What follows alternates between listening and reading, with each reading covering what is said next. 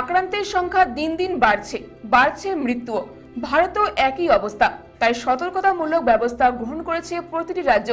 পিছিয়ে নেই পশ্চিমবঙ্গ। করোনা আতঙ্কে জেলার বিভিন্ন এলাকায় শুরু হয়েছে স্বাস্থ্য পরীক্ষা শিবির।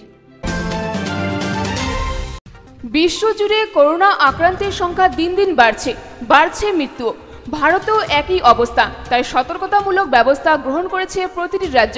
পিছিয়ে নেই পশ্চিমবঙ্গ। ভৌগোলিক দিক দিয়ে পশ্চিমবঙ্গের অবস্থান এমনই একটি জায়গায়, যেখানে তিনটি দেশ ও কয়েকটি রাজ্যের সঙ্গে সীমান্ত জুড়ে আছে এই রাজ্য। তাই এখানে সতর্কতাও বেশি। সম্প্রতি পার্শ্ববর্তী দেশ ভুটানের সীমান্ত বন্ধ করে দেওয়া হয়েছে। আন্তঃরাজ্য সীমানাগুলোতেও বসেছে হেলথ স্ক্রিনিং ব্যবস্থা। আলিপুরদুয়ারের বারবেশার পাকড়িগুড়িতে অসম বাংলার সীমানায় গত শনিবার থেকে শুরু হয়েছে স্বাস্থ্য পরীক্ষা শিবির। আসাম থেকে যে সমস্ত গাড়িগুলো আসে যে সমস্ত যাত্রীরা আসছে তাদের হচ্ছে স্ক্রিনিং করছি করোনা ভাইরাস সম্বন্ধে। যদি কারও সাইন সিমটম দেখা যায় করোনা সম্বন্ধে তাহলে তাদের আমরা রিপোর্ট করছি আলিপুরদুয়ার হসপিটাল বা কোচবিহার হসপিটালে তা আপনারা কবে থেকে শুরু করেছেন? শুরু হয়েছে কালকে রাত থেকে। তো এই পর্যন্ত কি কোনো সেরকম কোনো রোগী বা সিমটমস কোনো রোগীর সিমটমস পাওয়া না। যায়নি পাশেই কোচবিহারের নাজিরান দেওঘাটিতে মোটর ভেহিকলস অফিসেও বসেছে হেলথ স্ক্রিন ক্যাম্প। হ্যাঁ কালকে এইচও সাহেব এসেছিলেন। তুফানগঞ্জ এসডিও। সাহেব এসেছিলেন। তো উনি এসে বললেন আর কি যে এখানে একটা মেডিকেল স্ক্রিনিং ক্যাম্প বসাবেন বলে। তো তার জন্য আমরা যেহেতু এটা আমাদের গভর্নমেন্টের সাথে জয়েন্ট ভেঞ্চারে তো যার জন্য আমরা প্রতি একটা পদক্ষেপ নিচ্ছি আর কি। যাতে চেক করানো যায়। এখানে আমরা ওনাদের বসার ব্যবস্থা এবং ওনারা যাতে থাকে থাকা খাওয়ার সব কিছু ব্যবস্থা আমরা করে দিয়েছি। এবং এক হাজার মাস্ক এনে দিয়েছি। মাস্কগুলো ডিস্ট্রিবিউট করার জন্য আর পাঁচশো গ্লাভস এনে দিয়েছি।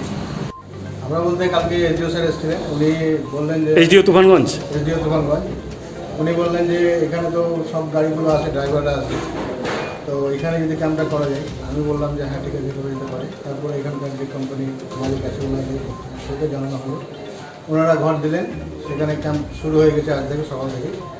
তো আমরা যে সমস্ত ড্রাইভাররা আসে তাদেরকে প্রত্যেককেই বলি যে তাহলে তোমরা আপনারা ওখানে গিয়ে চেক করুন। যে ঠিক আছে। হেলথ স্ক্রিনিং করার পরে আপনাদের কাউন্টার অ্যালাউ করছেন? হ্যাঁ মানে আমরা সাজেস্ট করি আর কি প্রত্যেককেই যাবে সেখানে তারা যায়। এবং তারা নিয়মিত সবাই করছে। পাকড়িগুড়ির শিবিরেই আজ দুপুরে আসামের শিবসাগর থেকে ফেরার পথে একটি লরির চালক ও খালাসির স্বাস্থ্য পরীক্ষার পর তাদের নিজেদের হেফাজতে নেয় স্বাস্থ্য দপ্তর, কারণ তাদের দেহে উচ্চ মাত্রায় জ্বর ও সঙ্গে সর্দি, কাশি এবং শ্বাসকষ্ট ছিল। তাই সতর্কতামূলক ব্যবস্থা হিসেবে তাদের ফালাকাটা সুপার স্পেশালিটি হসপিটালে আইসোলেশন ওয়ার্ডে ভর্তি করা হয়েছে।